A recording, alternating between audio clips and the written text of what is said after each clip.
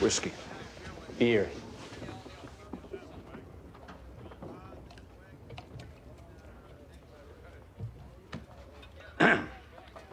I'm concerned it might be taken as provocation. Me serving his whiskey before you getting your beer, or the very reversal of that. Just bring my whiskey. Fucking beer. And these others, they friends of yours coming on your heels? You friends of these boys, fellas? Should I be taking your orders altogether? And was yours the fucking beer? That was the fucking whiskey. Right then. Right you fucking are. Make a move, cocksuckers! Don't you shoot him, Johnny. These fellas have been sent here to draw.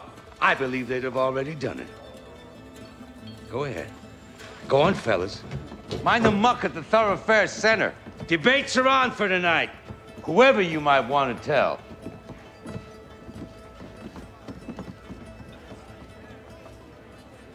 I'll drink after I've ate.